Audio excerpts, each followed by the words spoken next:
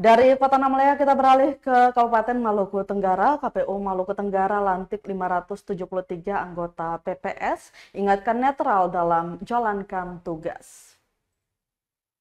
Komisi Pemilihan Umum atau KPU Kabupaten Malra melantik dan mengambil sumpah panitia pemungutan suara atau PPS dari 192 OHOI atau desa yang ada di Malra Minggu 26 Mei 2024. Ketua KPU Malra Basuki Rahmat Owat mengatakan pelantikan dan pengambilan sumpah tersebut bertujuan memenuhi kelengkapan petugas pelaksana pemilihan kepala daerah atau Pilkada serentak 2024. Ia menjelaskan dalam rangka suksesnya Pilkada semua pihak termasuk masuk PPS harus bekerja dengan penuh komitmen, bukan hanya di awal tapi sampai di akhir pemilihan.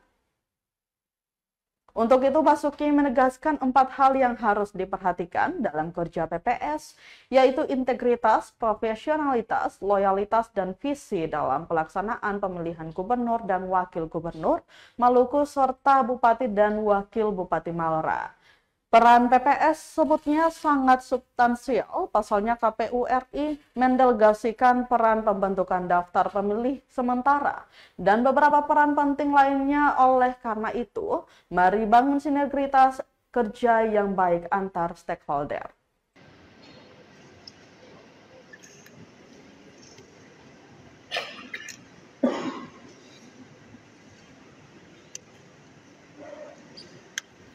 Kepada Ketua Komisi Umum Kabupaten Maluku Tengah, disilakan menandatangani berita acara.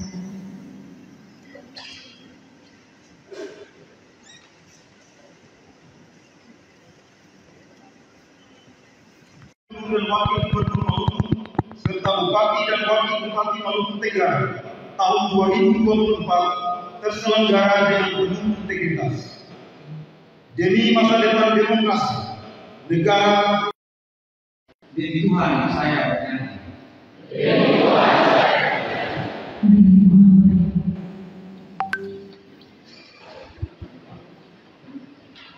Download Tribun X sekarang. Menghadirkan lokal menjadi Indonesia.